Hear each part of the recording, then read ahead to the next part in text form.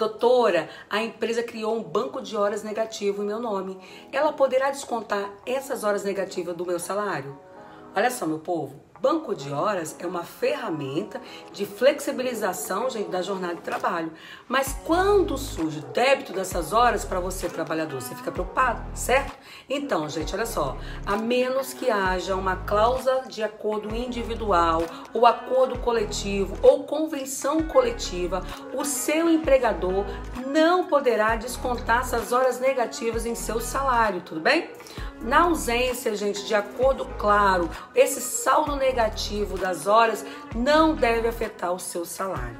Se estiver passando por uma situação parecida com essa, sempre busque uma orientação para um advogado trabalhista. E aí, Gostou da dica? A dica foi pequenininha, curtinha, espero que vocês tenham gostado. Se você gostou, marque, compartilhe para que essa informação chegue a demais pessoas.